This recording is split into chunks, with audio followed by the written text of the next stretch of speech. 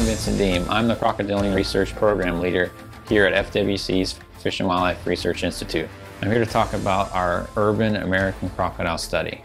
American crocodiles are a threatened species still recovering from historic population declines. Direct human caused mortality and habitat destruction resulted in severe population declines of American crocodiles in Florida throughout much of the 20th century. Several decades of conservation work has allowed the crocodile population to slowly recover. However, as the crocodile population has grown, so has the number of human crocodile interactions. Perched on the community dock sits a crocodile. He was sitting there all day yesterday, just sunning, sunning itself. Its long and scaly body taking up shop within the Bay Colony Club community. For this species to continue to recover, coexistence with humans is necessary. Having a better understanding of how crocodiles move and behave around urban areas can help local governments incorporate urban design practices that protect crocodiles and minimize the chances of conflicts with people. This led us to pursue a tracking study using satellite tags on crocodiles in urban areas. Our goal was to determine whether landscape characteristics in urban areas influence crocodile movements and habitat use. The landscape characteristics we're interested in include roads, traffic, and residential activity. Crocodiles are a coastal species. They prefer to be close to shore or in sheltered areas like canals.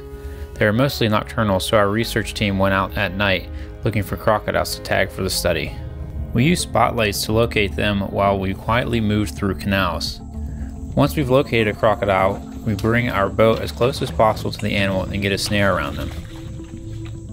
Once they're snared, we can bring them closer to the boat and secure their jaws and bring them on board. Once they're on board, we collect data such as how long they are, how much they weigh, and we collect blood samples. We insert a PIT tag, which is a small microchip similar to what you put in your pet that helps us to identify them later if they're recaptured.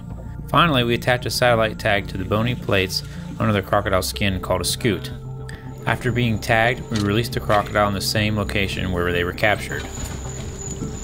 Satellite tags are programmed to record location data 12 times per day, and their battery life is estimated to last at least a year.